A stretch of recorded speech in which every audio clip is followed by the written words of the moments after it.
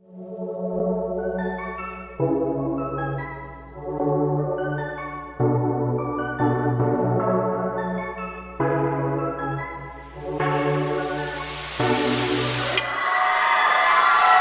help me welcome Miss Alexandra Durantes.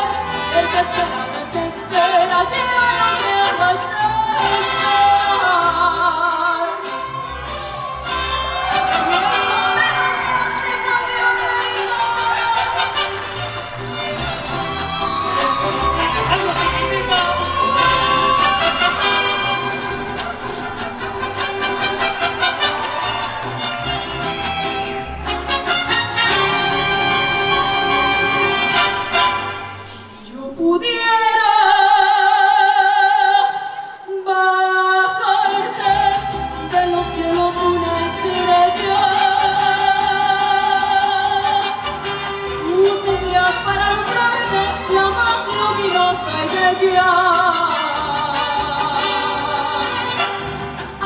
me dijiste que hoy y hoy me dices que mañana.